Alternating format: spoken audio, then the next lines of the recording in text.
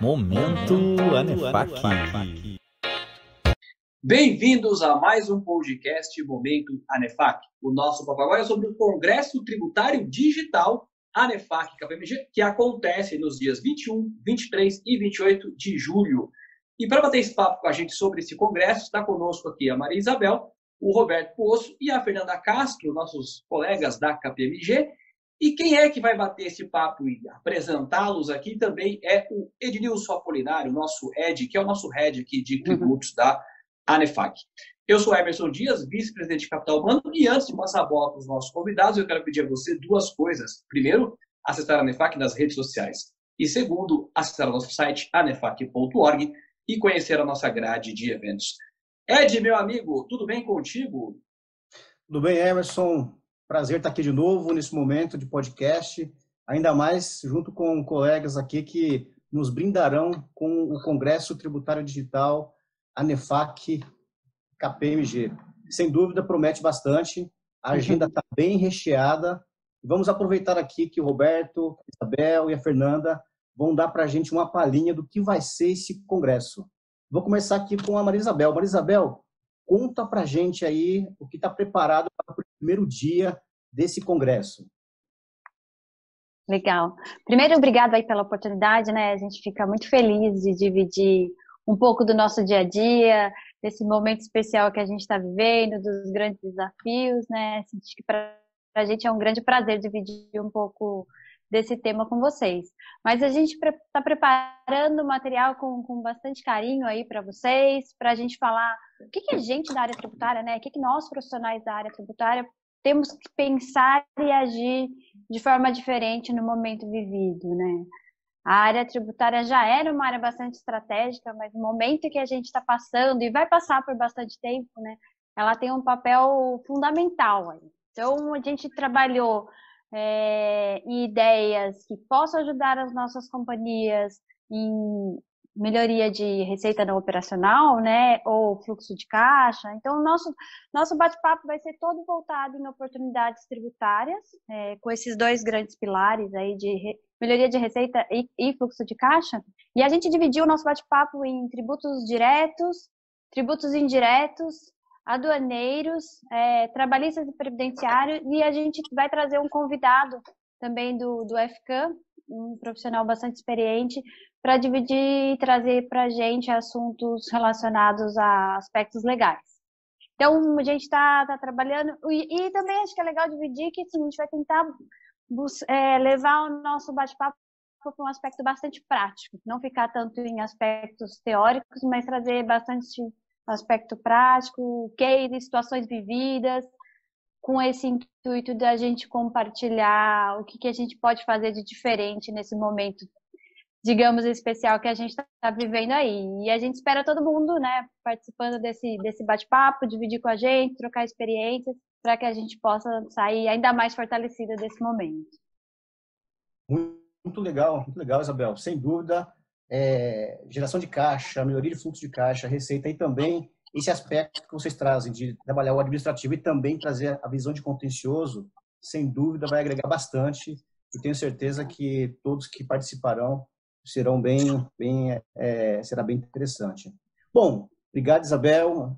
A Isabel ela é sócia líder da prática de Indirect Taxes da, da KPMG e juntamente com os demais colegas do primeiro dia que ela comentou, ou seja, serão equipes multidisciplinares aí trabalhando em conjunto nesse dia, recheando todas as per perspectivas aí da, da frente tributária.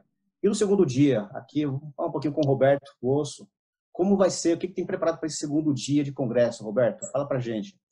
Legal, Apolinário, tudo bom? Muito bom falar contigo, com você também, Emerson, obrigado aí pela oportunidade. Bom, segundo dia a gente vai trazer dois temas assim muito relevantes também, muito interessantes. Um deles que já está, ah, se nós não estamos vivendo já plenamente, nós vamos vivê-lo agora num curtíssimo prazo, que a gente vai falar um pouquinho do Tax Transformation, que é toda essa mudança, toda essa transformação digital que a gente vai passar na área de tax, que a gente já está passando, na verdade, né? Acho que essa pandemia serviu aqui para acelerar muita coisa que já estava sendo planejada trazer muita mudança de mindset, muita mudança de perspectiva da área tributária. Então, um pouquinho do que a, da, do que a Maria Isabel comentou, a gente vai gerar oportunidades, sim, da área tributária. A área tributária é estratégica, mas ela também está passando por uma transformação muito grande no âmbito digital. Então, quanto mais as empresas se estruturarem, mais elas estiverem preparadas para essa transformação digital, mais na frente elas estarão frente aos seus concorrentes, frente aí às situações de mercado. E acho que isso está muito claro agora nesse momento que a gente está vivendo, né?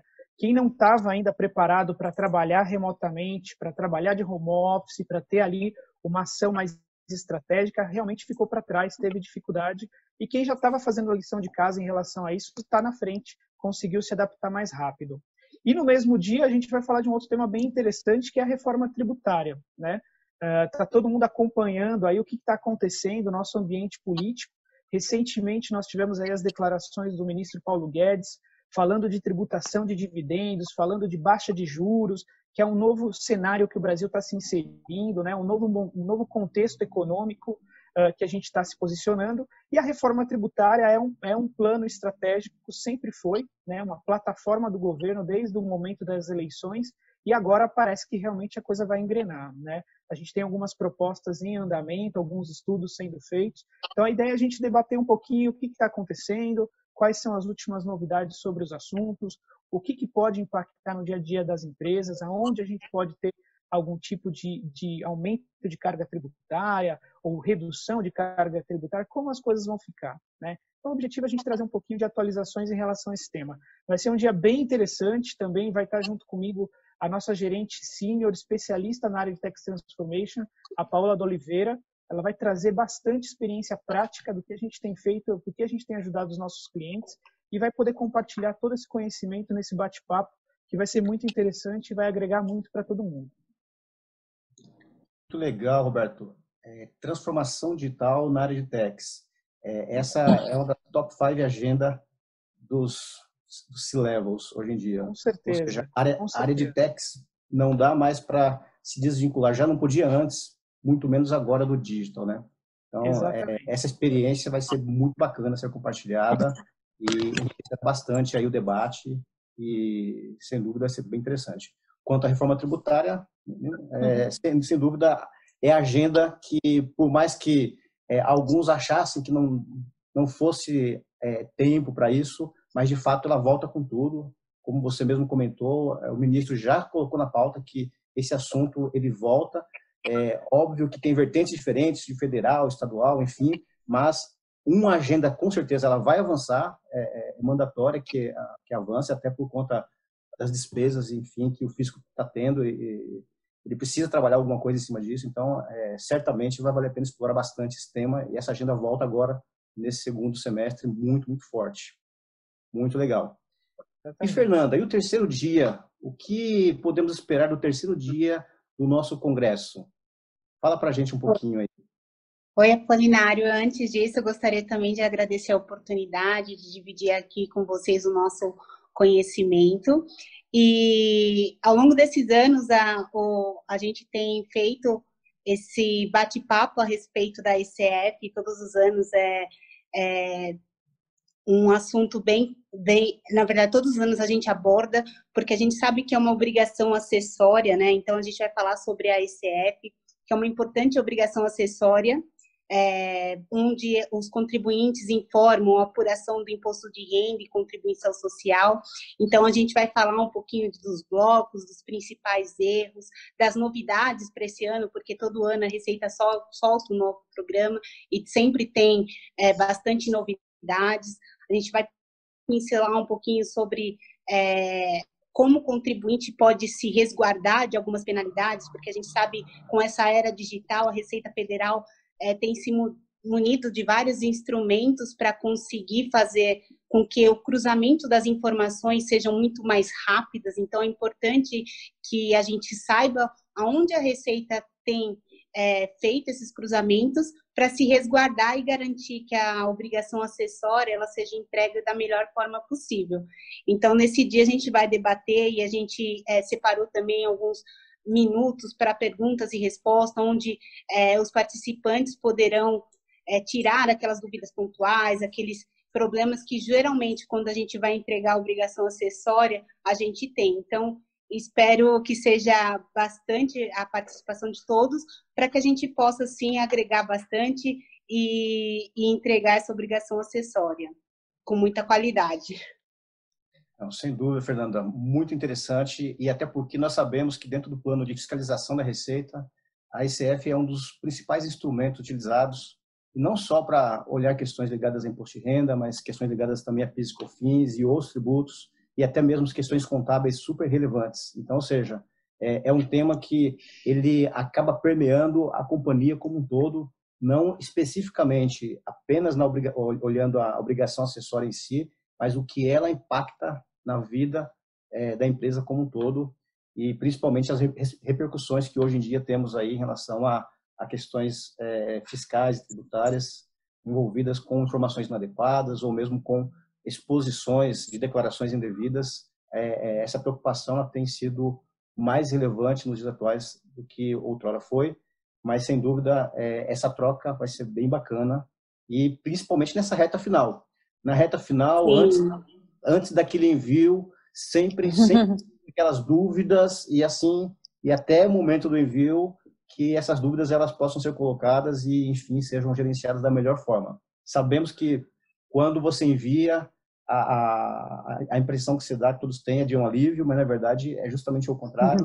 Você envia, se você não envia com a qualidade, é justamente o momento em que se inicia aí a dor de cabeça. Então, é, acho que é, é é isso mesmo. Normalmente a gente fala, não é porque é, foi validado, o validador é, deu ok na obrigação acessória que ela foi preenchida de forma adequada. Então é importante fazer esses checks, todos eles, para ficar mais confortável depois que você entrega. Mas realmente é, é bem importante esse check aí para quando você entregar se sentir mais tranquilo, né? Legal. Fernando, obrigado. Isabel, obrigado. Roberto, muito obrigado. Tenho certeza que esse congresso já está sendo sucesso. É, e convido a todos para participarem do congresso, que sem dúvida vai agregar bastante, vai ser uma troca de experiência muito legal e vale a pena vocês é, participarem. Emerson, volto com você agora para fazer esse fechamento desse podcast. Bacana, Ed. Muito obrigado aí pelas suas contribuições e interações aí com a turma da KPMG, Maria Isabel, Roberto e a Fernanda. E, claro, né, já estou aqui fazendo a minha inscrição para o dia 21, 23 e 28 de julho para este Congresso Tributário Digital ANEFAC PMG. Quero entender esse negócio aí de oportunidades, né, fluxo de caixa e resultado operacional. Quero entender essa questão de tax transformation, reforma tributária, esse mundo digital impactando também a nossa área tributária. E Estou preocupado com essa questão do ECF 2020 aí, porque eu sei que tem as dúvidas que não estão no Google, mas estarão sendo resolvidas lá no Congresso e é muito importante, né? Não é porque o balanço está batendo que ele está correto, é mais ou menos a mesma coisa que acontece com a ECF, né? Eu estou te entender que validação é algo mais profundo. Turma, muito obrigado pela participação de vocês. Se você não se inscreveu ainda, corre, se inscreve no Congresso. Repito, dias 21, 23 e 28 de julho. Olha, você vai ter profissionais de altíssimo nível respondendo suas dúvidas aí, podendo interagir.